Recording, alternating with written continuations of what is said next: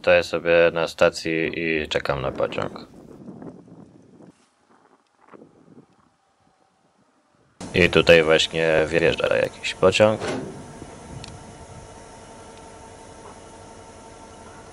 Ale to nie jest mój pociąg.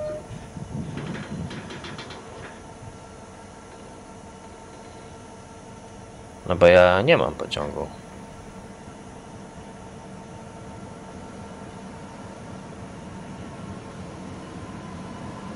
Ja wiem, że to nie jest ten pociąg, na którego czekałem. Wystarczy, że zobaczę sobie, która godzina jest na zegarze, a która na rozkładzie jazdy i widzę, że to nie ten. No i dlatego właśnie zegar na stacji jest taki ważny. Dzięki niemu wiem, czy mój pociąg już pojechał, czy jeszcze nie. No bo wiadomo, że pociągi zawsze przyjeżdżają i odjeżdżają zgodnie z godziną podaną na rozkładzie. No przynajmniej tak powinno być w jakimś normalnym świecie. Ja nie rozumiem, jak to jest, że w XXI wieku cały czas mamy do czynienia z pociągami, które nie jeżdżą na czas. Przecież mogłoby być tak pięknie. Wystarczy sobie wyobrazić.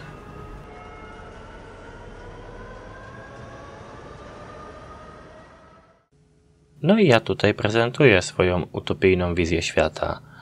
Tutaj mamy stację kolejową, na której stoją różne pojazdy szynowe, tylko one jeszcze potrzebują zasilania.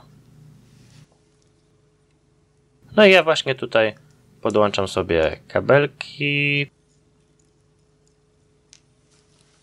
podłączam zasilacz.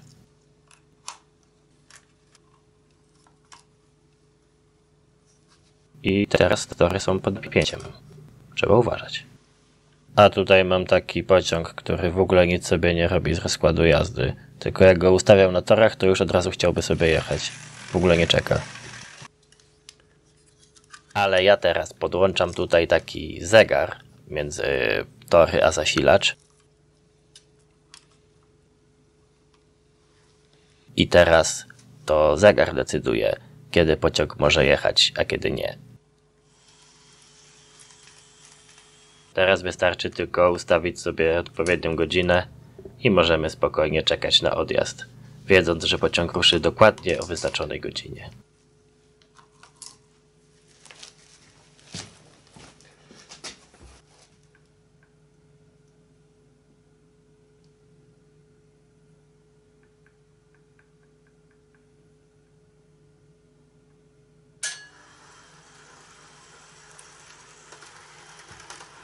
I to jest właśnie to.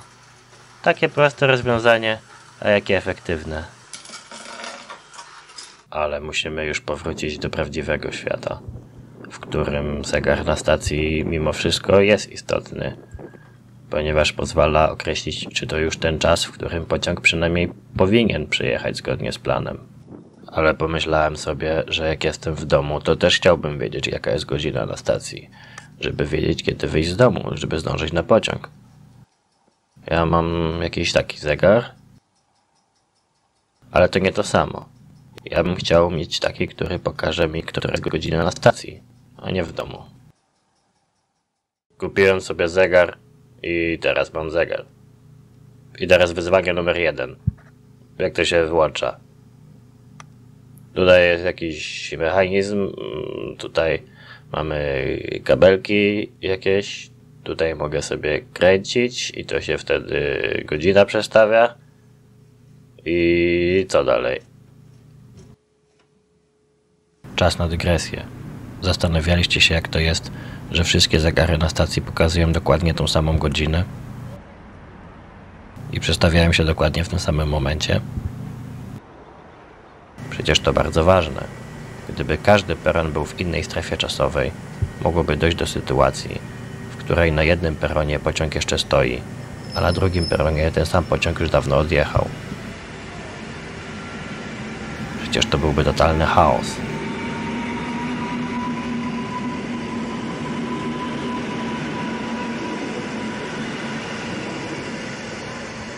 Mogłoby się wydawać, że to bardzo dużo roboty, ustawić wszystkie zegary razem co do minuty ale tak naprawdę to nie.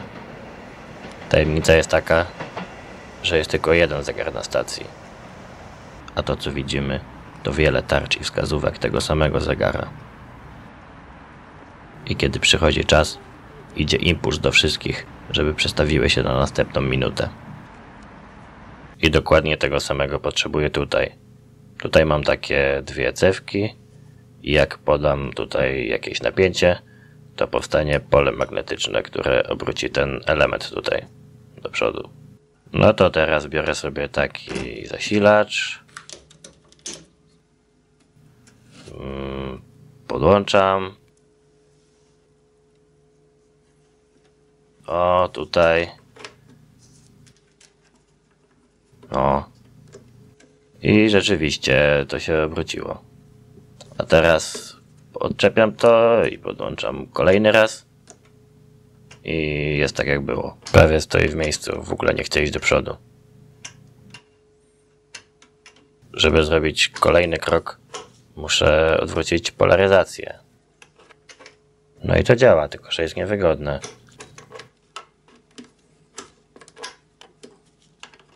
Na szczęście mogę to zrobić nie wyciągając kabelków.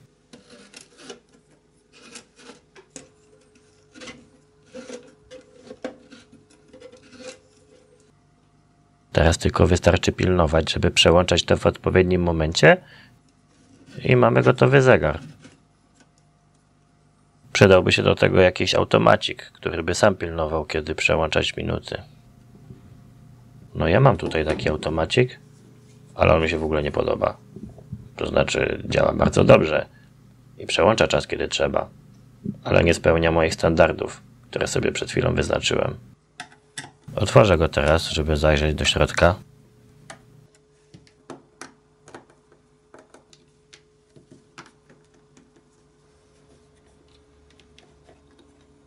No i tutaj widać, że ktoś bardzo się postarał. Tutaj różne takie rzeczy są w środku, ładnie światełka świecą, ale to nie jest to, co chciałem. Widzę, że tym wszystkim steruję układzik z resonatorem kwarcowym. Jeżeli przy tym zostanę, to będę miał zegar, który jest prawie jak taki zwykły zegar kwarcowy, jakich pełno wszędzie. Tylko, że gorszy.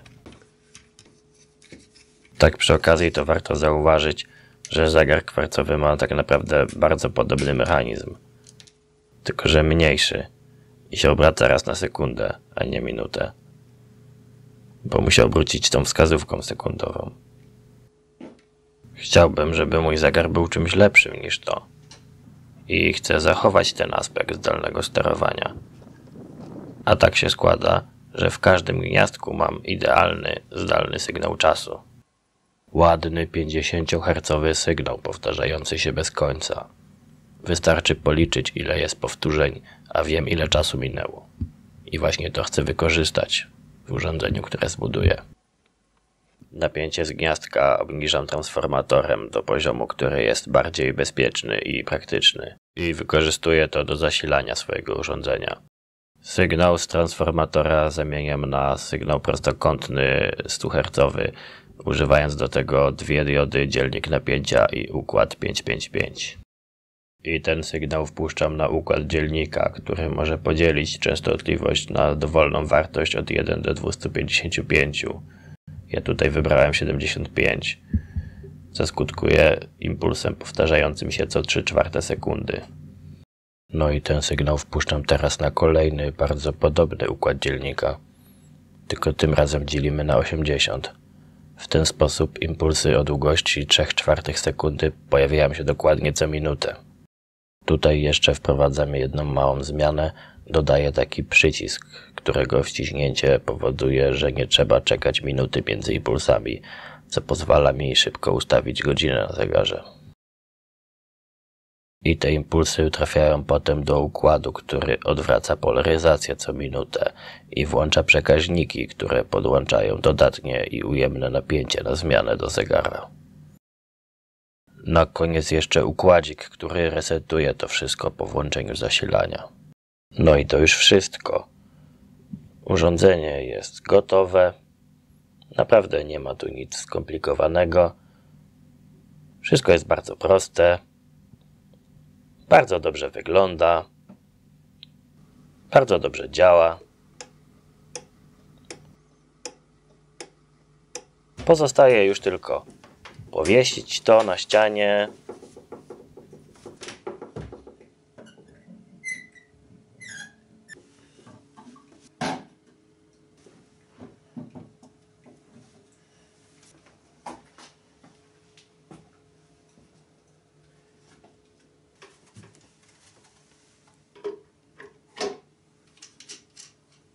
Uruchomić.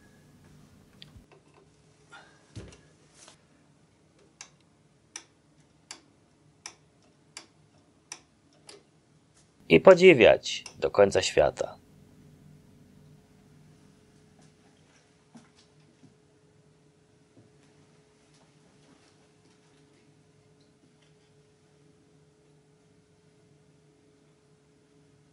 Albo dopóki nie zabraknie prądu. Koniec.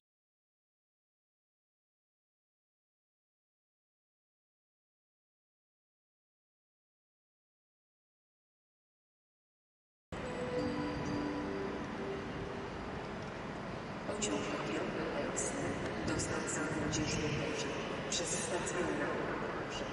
Nisa odjedzie z peronie czwartym. Prosimy zachować ostrożność i nie zbliżać się do. Życzę Państwu przyjemnej